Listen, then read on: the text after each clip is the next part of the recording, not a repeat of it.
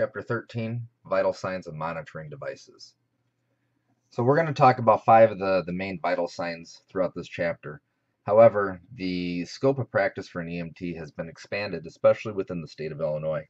So, we're going to continue in class and we're going to talk beyond the, the five that we discussed during this uh, lecture here. We're also going to include tidal CO2 monitoring and a few other components. So understand that this is just going to be a basic introduction to some of the more simple vital sign uh, vital sign acquisitions. So why do we do vital signs? What does that help? Uh, let me first explain that vital signs do not give us any information that we need to determine what's truly wrong with our patients and how to treat them. Okay, vital signs offer a little bit of insight into the overall status or condition of the patient, uh, their underlying severity, but vital signs should not be used to try to gather clues as to what's going on with our patient. We need to be able to perform a good comprehensive sample assessment in order to do that. And that's something we'll talk a little bit more or a lot about actually in chapter 14. But just keep that in mind as you are interacting with your patient, as you are working through the assessment algorithms, you have the discretion on when you should be doing vital signs, when you should be doing a hands-on assessment, when you should be asking uh, sample or OPQRST questions. So that's all at your discretion. That's all based on your um, your overall impression and how you determine that you should run that call. Now, as you make that determination, you should understand that by asking questions, gathering information and history, um, and by physically assessing your patient, those things will clue you in much, much more to the underlying condition of your patient than any level of vital signs will. Now, vital signs are important. You know, as we assess blood pressure and, and pulse rate and quality and, and regularity and everything else, these things all clue us in as to how our patient's doing. And we can use some vital sign clues to help us, or I should say, to help reinforce our theories on what could be wrong with our patient. But these alone won't save a life. They won't tell us exactly what's going on underneath. So we should always be focusing on that sample history and that physical assessment as a higher priority than vital signs. If we do have the resources available to us where we can multitask, and if I am able to ask sample history questions, my partner is able to obtain vital signs, and another provider is able to do a physical assessment, sure, that's fine. Do it all in tandem. But more often than not, we are working under limited resources with limited personnel. So vital signs should not be a high priority for us ahead of that physical assessment or sample history. So talking about the different vital signs, we have five different primary vital signs, including pulse, respirations, skin color, pupils, and blood pressure. Each of those clue us into something a little bit different, and collectively, as we, we put all of our findings together, we can start to identify commonalities between different underlying conditions. But at the end of the day, we still need to develop the patient's chief complaint. We need to physically touch our patients to determine what's wrong with them, and we need to gather a good comprehensive sample history. So the first set of vital signs that we get, we want to get relatively quickly within the first few minutes of patient interaction.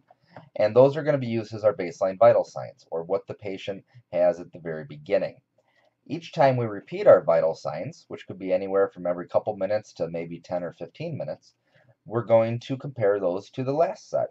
And we're going to uh, overall trend that information. We're going to look at all of our vital signs together and look at how they're changing over time. As the blood pressure drops and the pulse goes up and the respiratory rate drop uh, goes up, those three or that combination of those three items tells me that there's a good chance that my patient is going into shock. So again, it allows me to to clue into what could be going on with that. Now, I need, in conjunction with that, not just those findings, but I need to look at my patient and observe skin parameters. I need to identify was there a potential mechanism of injury or nature of illness that could lead to the potential shock. What are my patient's complaints? You know, so again, there's there's a very big picture, and that picture is cut up into small puzzle pieces. Each vital sign represents only one small puzzle piece, and we have to ask all those questions and look at those physical assessments to fill in the rest of the picture. So talking about pulse, palpable pressure of the heart beating. There's a difference between heart rate and pulse.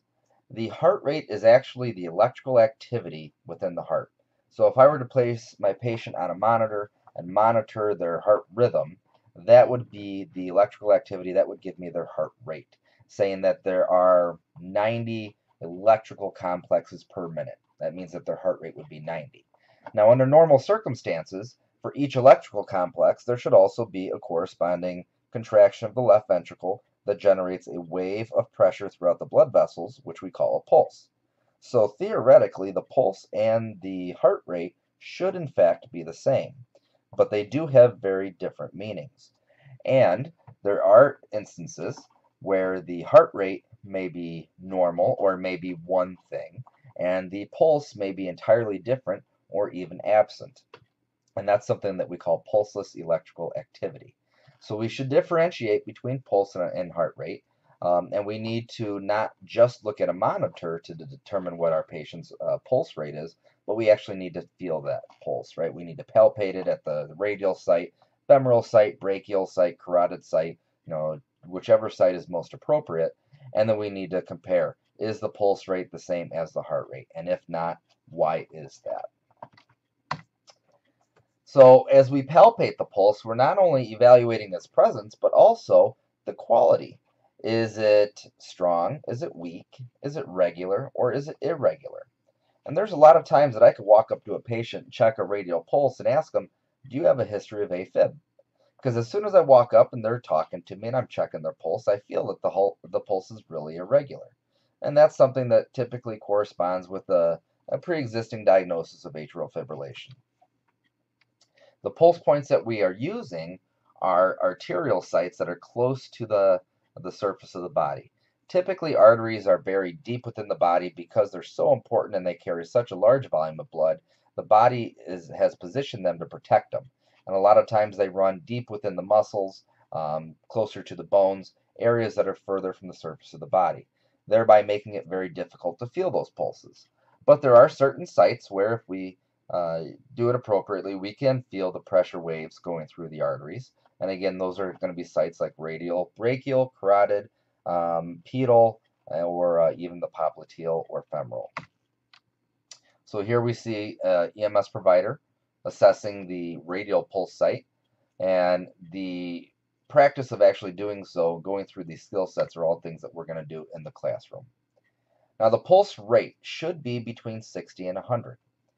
Anything that is outside of that range may not necessarily be abnormal, but we would need to look at the overall patient's condition in conjunction with that. For instance, I work with a, a gentleman who is very physically active. Um, he does jujitsu, he does a lot of cardio work, works out all the time, and he, overall he's in very good shape. He has a resting heart rate in the upper 40s to lower 50s. Now, there are some patients that if they had uh, a resting, or I'm sorry, a, a heart rate in general of, of 40 something to 50 something, they could be hemodynamically unstable, and we may need to actually start doing some pretty intense ALS interventions. But not for him. And that just further illustrates that each patient is, is different. Each patient is independent, and we need to look at each patient differently and not just focus on focus in on any one puzzle piece. Um, same thing, you know, if I go and I jump on a treadmill right now and I spend 20 minutes on the treadmill, my heart rate's probably going to be 130, 140 beats per minute. That's not abnormal because of the exercise, right? That's just simply meeting the oxygen demands of the body. But if I were just simply laying in bed resting and I hadn't done anything and I had a heart rate of 130 or 140, that would be a, a pretty big red flag. So looking at not just who the patient is, but what the underlying circumstances are, what were they doing leading up to this event? These are all equally important things that'll help fill in each one of those little puzzle pieces.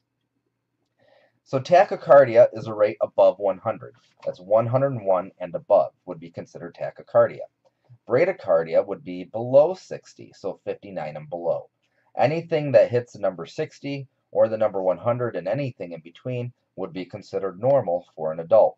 Now keep in mind that with children, the rates are different and you're going to need to really evaluate what is considered normal for the different age groups. And I can tell you that the younger the child is, the faster their pulse rate is. As a brand new baby, as a newborn, we would expect a pulse rate in the ballpark of probably 150, give or take. as the child gets older and grows into adulthood, the heart rate continuously starts to slow down. And as they become elderly, uh, we see heart rates typically that are going to be in the uh, lower 60s, and that in conjunction with beta blocker medications that a lot of Americans are on, we start to see uh, pulse rates that really do hover right around 60 in those later age groups.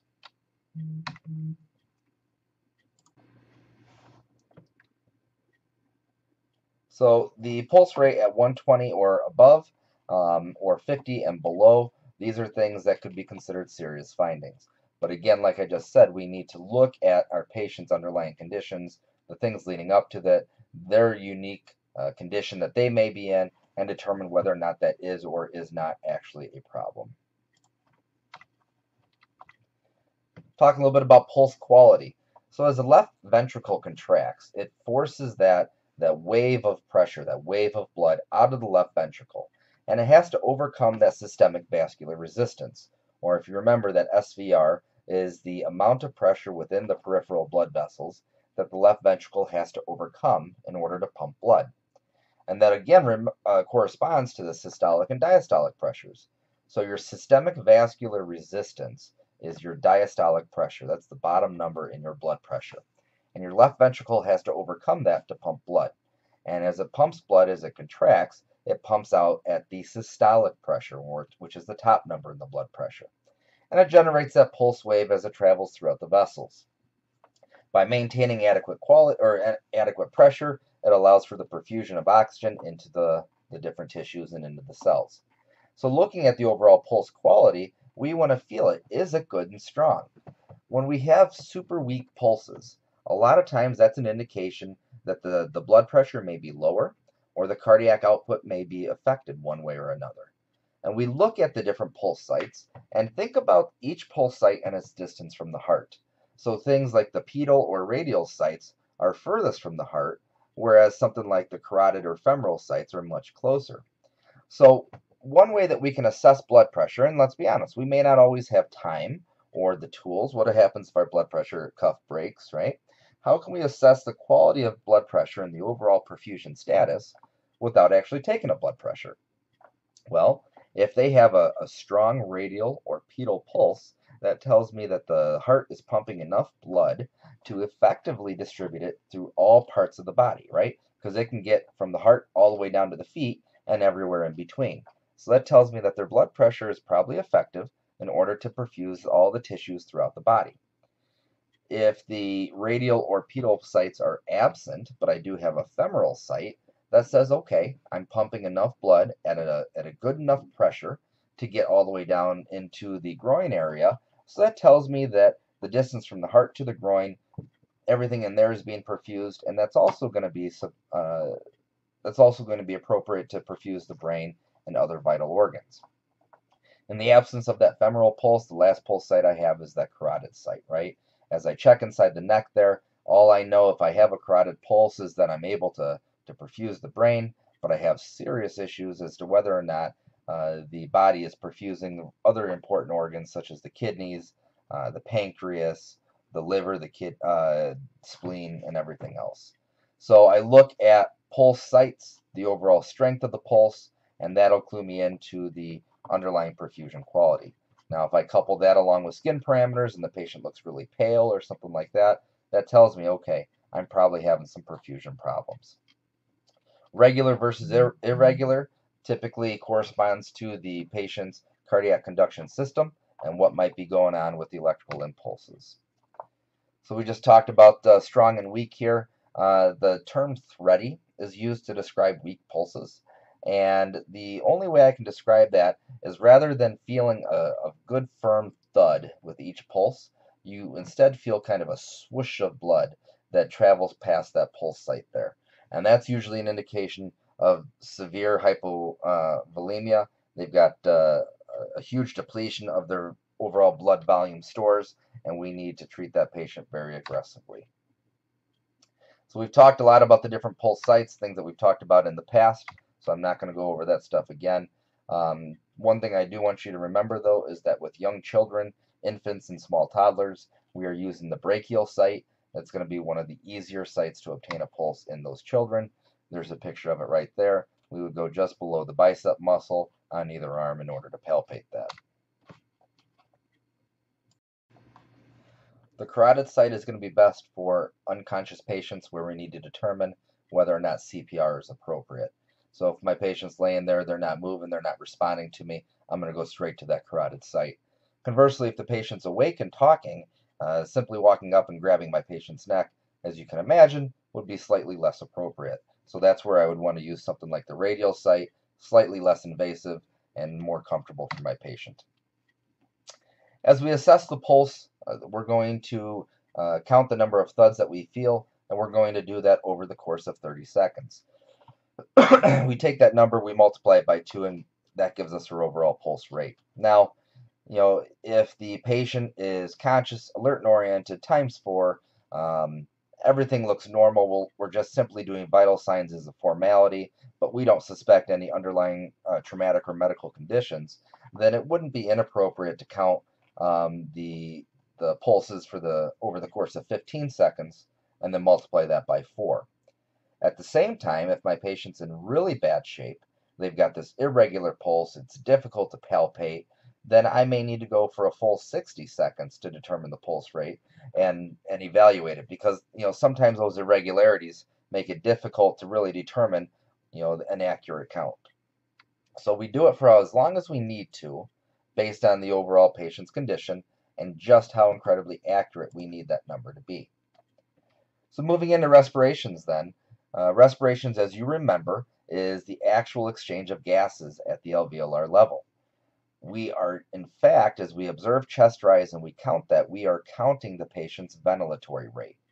Similar to heart rate and pulse rate, which you've heard me use interchangeably already in this, this conversation, respiration and ventilation are oftentimes used interchangeably.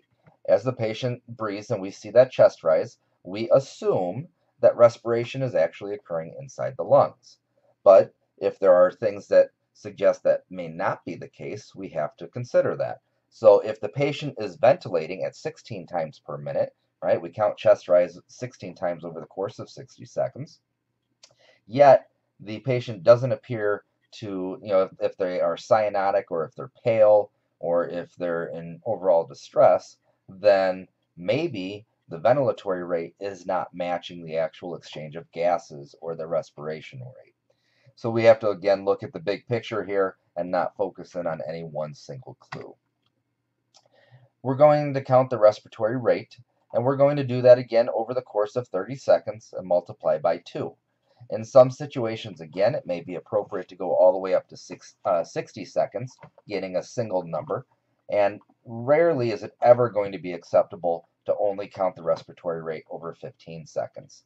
Because the normal respiratory rate um, for an adult places anywhere from 5 to 6 seconds between each breath, simply counting for 15 seconds and multiplying by 4 does not give us a very accurate number at all.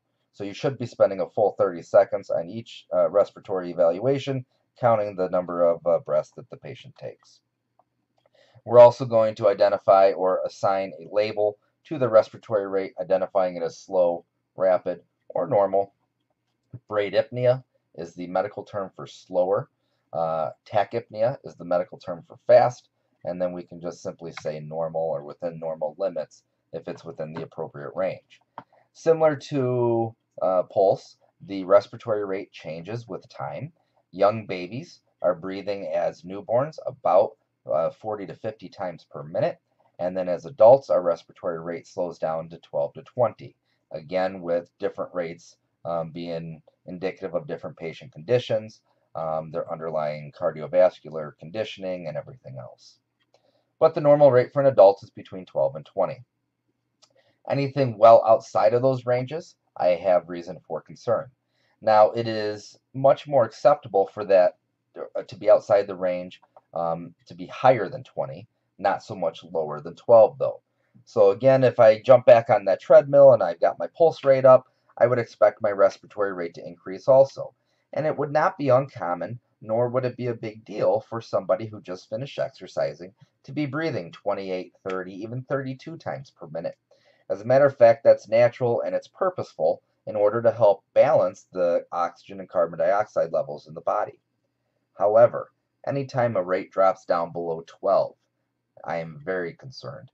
Respiratory rates of, of 8 or even 6 or below are considered inadequate, and in those circumstances, I probably need to get my BVM out and start ventilating those patients. So again, I've got a wide range. I can go well above 20 and not be overly concerned. Uh, but if I drop below 12 at all, that's kind of a big deal. And a lot of times those patients require aggressive therapies. So four different categories that we can utilize to describe the respiratory quality, those being normal, shallow, labored, or noisy. Um, normal is obviously self-descriptive. Shallow determines or describes the overall chest rise, and it shows that there's not going to be a lot of rise, that they're not exchanging adequate volume of air. Labored means that they're actively struggling to breathe. You can see them working hard using accessory muscle uses uh, in their neck, maybe retractions within the, uh, the ribs, maybe they're in the tripod position, uh, nasal flaring, pursed lips, all those things would clue us into labored. And then we also have noisy breathing, which could be stridorous, wheezing, or other issues like that. We also assess the overall rhythm or regularity of respirations, looking to see are they regular or irregular. And a lot of times when we have irregular respiratory patterns, uh, that is going to be indicative of some type of head trauma that impacts the, the brainstem. The brainstem, or more specifically the medulla oblongata, uh, controls the overall respiratory functions of the body. When the respiratory rate is super irregular, that clues me into the possibility of some type of neurologic issue possibly from head trauma, intracranial pressure, or infection. Moving on to the skin parameters. Now, when we talk about skin color, we're not necessarily talking about black, white, brown, or anything else that would signify race or ethnic background. What we're discussing is the the color indicators as to whether or not the skin is adequately being perfused. And what that oftentimes refers to, or it allows us to, uh, it clues us into, is the vasoconstriction or dilation of the blood vessels within the skin. Anytime that we have a circulatory issue, if, if we have circulatory compromise due to depleted blood volumes, um, hemorrhaging, uh, or any other issue where the, the core vital organs aren't being perfused appropriately, the body takes automatic steps to constrict the blood vessels within the periphery, especially within the skin. And by doing so, it shunts the blood back toward the core of the body. So anytime that the patient uh, appears really pale or diaphoretic, uh, that tells us that there's most likely vasoconstriction that's occurring in the vessels within the skin. And what that means is that the skin is no longer being perfused appropriately. It becomes very porous and allows the, the water within the skin to leak out, causing the diaphoresis or the sweating.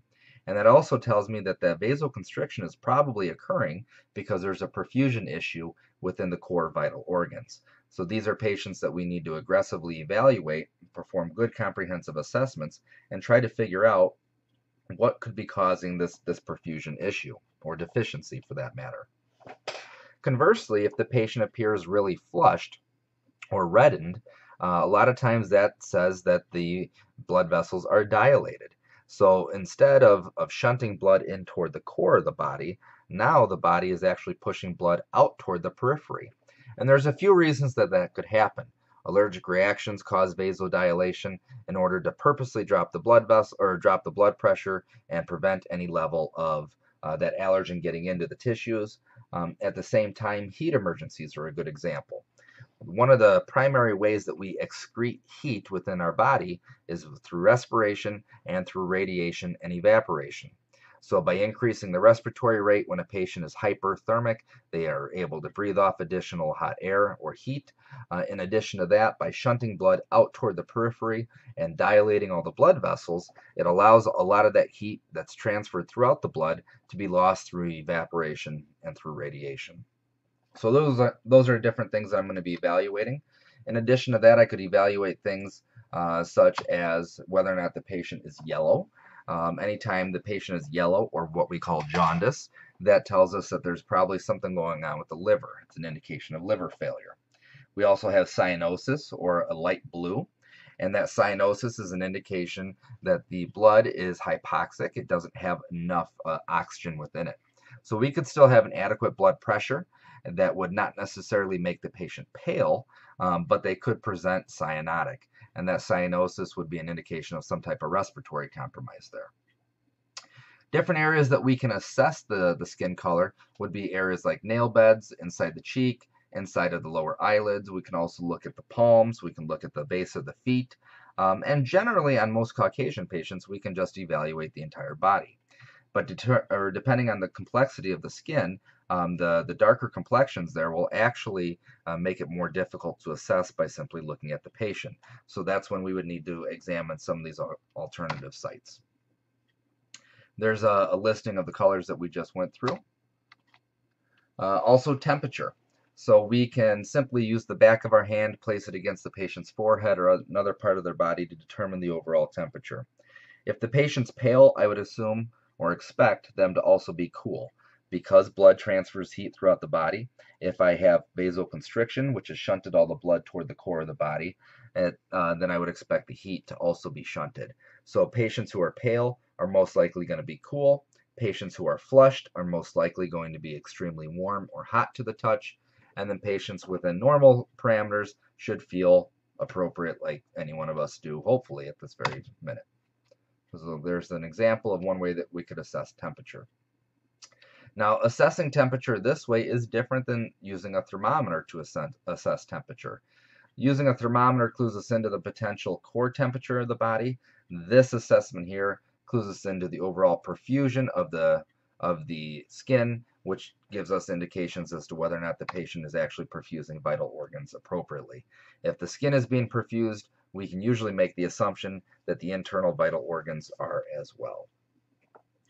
So with some pediatric notes to remember, although children are nothing but little humans, uh, there are some differences between kids and adults. And we've seen that with airway anatomy and management. We see that with vital signs. Um, so in this case here, as we assess capillary refill, um, rather than just looking at the nail bed, we may also look at the top of the hand or foot. Um, and we also know that capillary refill is going to be a much more significant indicator indicator with children than it would be with adults. I rarely, if ever, assess capillary refill in adults, but I always assess it with kids. Again, it's just a lot easier to assess and it's a lot more reliable in children than it would be in adults. So moving on to pupils. Pupils are going to be uh, probably one of the most comprehensive neurologic exams we can do. So from behind the eyeball itself, we have the optic nerve, and that optic nerve runs back and toward the back of the brain and actually crisscrosses to the opposite side. And what that allows us to do by assessing pupillary response is it clues me into the overall perfusion of the brain in some of the, the further back or more distal areas. We're able to assess pupils to determine whether or not they are the same size, whether or not they respond or react together, uh, the rate at which they do constrict or dilate depending on ambient light conditions. All of these things are quick, easy assessments and tell us a lot about what's going on neurologically with the brain. So it says here that a in a dim environment, the pupil will dilate. And what happens is the pupil, which is the, the black center part of the eye, opens up. And in a dim environment, for instance, if you're sleeping at night and you wake up in the middle of the night to, to use the restroom, you have night vision, right? You're able to see. The, the dim lighting from nothing more than your alarm clock or maybe your phone charger or something like that is enough to light up the room and you can see really without much of a problem. Now, if you go to bed at night and the lights are all on and, and everything else, and all of a sudden you shut the lights off, it's dark as can be and you can't see anything. And what it is is that your pupils take a while to adjust. But as you wake up, your pupils should be dilated in the dark, allowing you to see the most. If if somebody walks into the room and flips lights on you, or flips the lights on right away, um, then your pupils should instantly start to constrict down as they try to adjust to that overall ambient light. So we can do the same thing using a pen light, right? We can shine a light into their eye, watch for that overall pupil con constriction, and we know that the pupils should constrict together, right? If I shine a, a light into the right eye, then both the right and left eye should both constrict. And the same thing on the opposite side. I shine a light into the left eye, I should see both the left and the right eye constrict together. So when we're evaluating pupils, we use the term PERRL. pupils are equal and reactive to light. So they're the same size, they react together. Those are indications that we are intact neurologically. But anytime that the, the pupils change, it can give us big indications as to what might be going on. So let's look at this image here, right? The top picture you see two pupils that are constricted. Now, if this patient were laying in the back of the ambulance and all the lights are on, or they're laying outside and it's a sunny day, that would be normal. I would expect to see their pupils look that way. If their pupils didn't look constricted in high light environments, that would be a suspicion for some type of neurologic issue. Looking at the middle picture then, both pupils are dilated.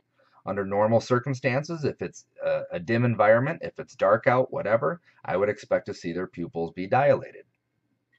The bottom picture shows unequal. And that's going to be a, a huge indicator as to an underlying head trauma, maybe intracranial pressure building up, but that should be a, a huge clue that there is a, a big problem going on there. In addition to that, we look at the rate at which the pupils respond. So if I were to um, shine a light into the eyes of that patient in the middle there with the dilated pupils, the pupils should constrict together relatively quickly. Sometimes it takes a, a, few seconds for them to constrict or they constrict real slowly. We call that sluggish. And a lot of times that'll be indicative of some type of depressant on board, maybe be alcohol, marijuana, something like that. If the pupils are dilated, uh, as they are in the middle picture, and it's a highlight environment, um, that tells me that, well, maybe they're on some type of stimulant. Um, just a, a, lot of different things. And we'll talk more about pupil response to individual medical and traumatic conditions throughout the semester as we, we come to them. But understand that pupils will really tell you a lot about your patient's underlying medical condition. And you'll see here, right, this pupil is dilated, this one is constricted. Now, many of you, I'm sure, have gone to the eye doctor before and had your pupils dilated. You know, they can do that uh, purposely using medications in order to uh, do different tests or, or make different observations. But short of any type of abnormality with the eye, uh, that otherwise would be very, very irregular and clue us into a big problem. All right, blood pressure, arguably one of the most important components of the vital signs. So blood pressure describes to us the overall pressure within the blood vessels themselves, and we know that if we don't have an adequate blood pressure, then we're we are unable to appropriately perfuse all of the tissues of the body. So normal blood pressure for an adult is in the ballpark of 120 over 80. With children, we can actually use a formula, and that formula is 70 times 2 eight, or 2 times the age in years. So if a patient is 7 years old, I would take 70, and then I would add 2 times their age in years, so 2 times 7 is 14. So 70 plus 14, I would expect a seven-year-old's systolic blood pressure to be in the ballpark of 84. Now, there's some wiggle room there. I can add and subtract 10 from that number, and those would be my acceptable ranges. So a seven-year-old with a systolic pressure between 74 and 94, I would consider to be acceptable as it approaches those outside ranges, or if it exceeds the outside ranges, I have to really start to get, uh, get concerned about the overall perfusion quality. Why is their pressure too high, and or why would it be too low? So we use something called a sphygmomanometer. You can say that for fun if you'd like to. And what that does is it measures the overall pressure, right? That's your actual pressure gauge. Um, combined with that, we'll use our stethoscope. And what we're listening to is as, as the blood pressure cuff tightens up, it actually acts as a tourniquet and it occludes the, the blood flow to the extremity. And that's why we typically pump it up to between 160 and 180 for most adults. That should be high enough. And then from there, we slowly let the needle drop. As we're listening with our stethoscope, when we start to hear the thud of the pulse come back, that is the systolic pressure. That is the amount of pressure that the left ventricle is pumping at in order to overcome the, the systemic vascular resistance. We're going to continue to hear the thud, thud, thud, thud as the needle drops. Eventually, as that thud goes away and we no longer hear it, that is a description of the diastolic pressure, or the amount of residual pressure that's within the blood. So those are that's how we identify the two different pressures. From time to time, though, we're unable to hear the blood pressure. Uh, maybe we're in the back of a noisy ambulance or a noisy environment. Maybe the stethoscope isn't working. Maybe we simply have a cold and we're congested and we can't hear very well during that time. So if that's the case, we can do uh, a blood pressure by palpation. So rather than utilizing the cuff here and a stethoscope, we'd utilize the cuff and we would assess the a distal palpable pulse. In this case here, probably the radial site. And I would do the same thing. I'd inflate the cuff to about 160, 180 and allow that needle to slowly drop. And in this case here, once I start to feel the pulse return at the radial site, that is my systolic pressure, but I am unable to get a diastolic pressure using that method. So I would simply describe it as you know 134 over palp, right? If that's where I began to feel the the pulse itself. Um, the process of actually applying the blood pressure cuff and practicing is something that we'll, we'll do in class, but should not be anything that you guys aren't already aware of. Uh, you'll see here at the bottom a little clue on a test question. Position the diaphragm of the stethoscope directly over the brachial pulse or medial anterior elbow. That is something that is on the exam.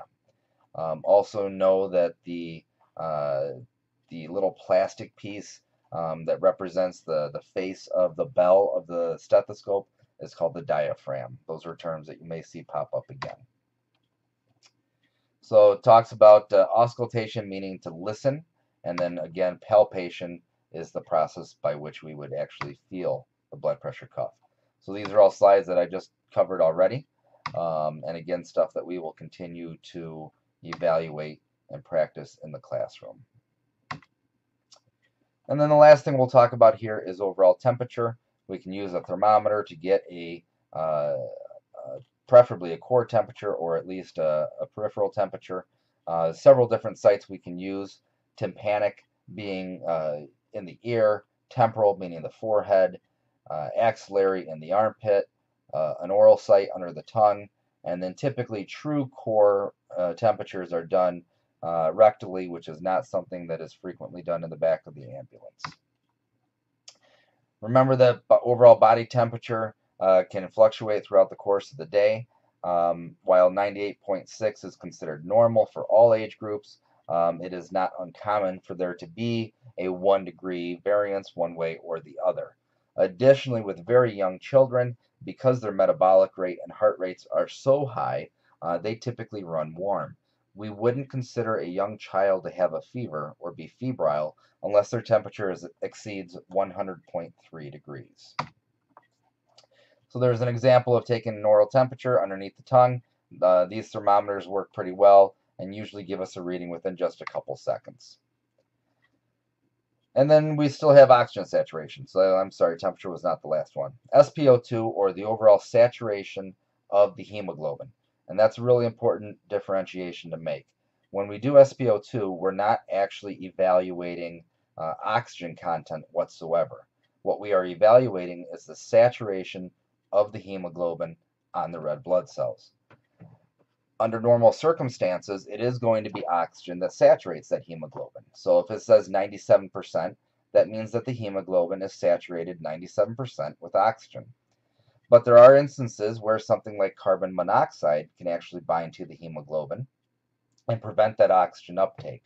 Uh, there are also other issues such as when the pH levels get off from carbon dioxide that prevent the effective, or I'm sorry, the efficient use of the hemoglobin and that's unable to transport as much oxygen in those circumstances. So nonetheless, just know that when we talk about SpO2, um, we assume that it's oxygen, but we don't know that for sure.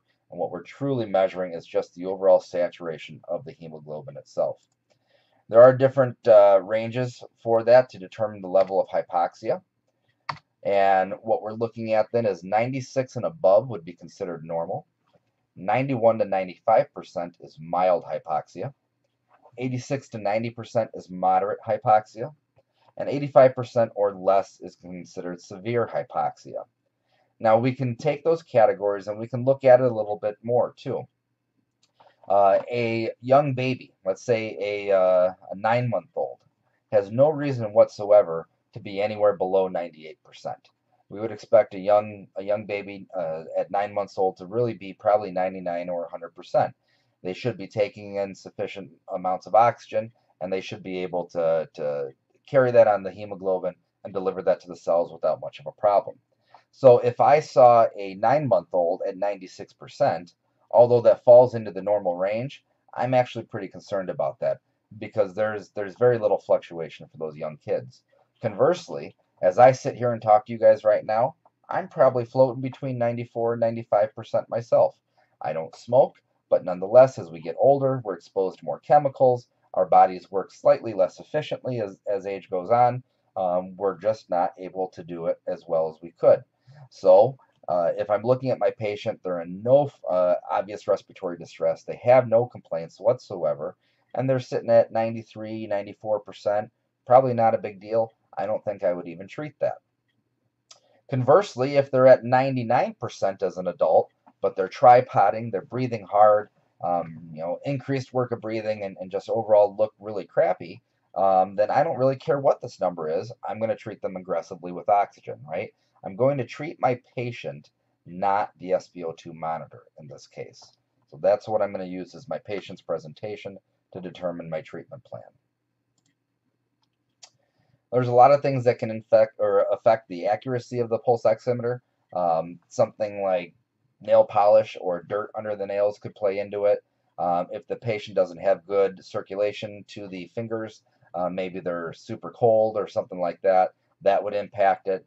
So we also have to look at it and say, okay, this thing's reading 83%, but my patient looks fine, they're not complaining of anything, is it accurate? And a lot of times what we find is that there is a, a false reading there.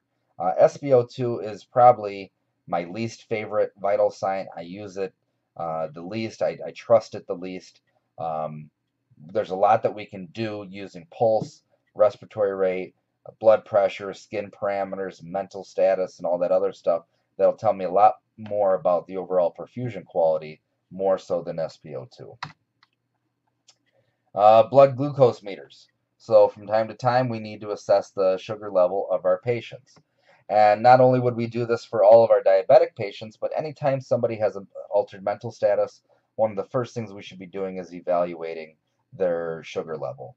Because even in non-diabetics, something simple as trauma or infection can cause the sugar levels to drop relatively quickly in an otherwise healthy adult. So something that we should be checking on a regular basis. Lots of different monitors on the market, different procedures when using them. And that's something specific to your organization that you go to work for. You'll learn how to use their equipment. Uh, using a glucometer and obtaining blood glucose is something that is permitted within the state of Illinois for EMTs um, and within our EMS system, so you don't need to worry about that. Again, going over the average or the actual uh, procedure is something we'll do in class.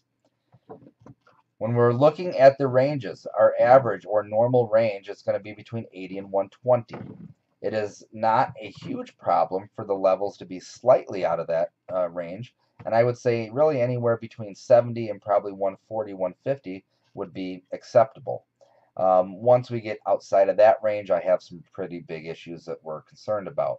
Uh, we'll talk more about hyper and hypoglycemia in the diabetic chapter, um, but know that the average range for an adult is between 80 and 120. Uh, with adults, our sugar levels fluctuate quite a bit based on meals and activity levels. Um, with kids, though, they're able to maintain a relatively constant sugar level, and that's usually going to be up above 100. So although 80 to 120 is still the acceptable range for kids, we expect it more than likely to be between 100 and 120 as truly their norm. Uh, no different than the SpO2, right? 90, 96 to 100 is considered normal, but for young children, I would expect them to be 98, 99, or even 100%. And that wraps that up. That was a very brief overview of some of the most uh, basic vital sign acquisitions that we do. Again, in class, we're going to practice these actual skills. We're going to start talking about end-tidal CO2 monitoring, and we're going to get a lot more in depth with each of these vital signs that we just discussed. So we look forward to seeing you in class and enjoy the rest of your day.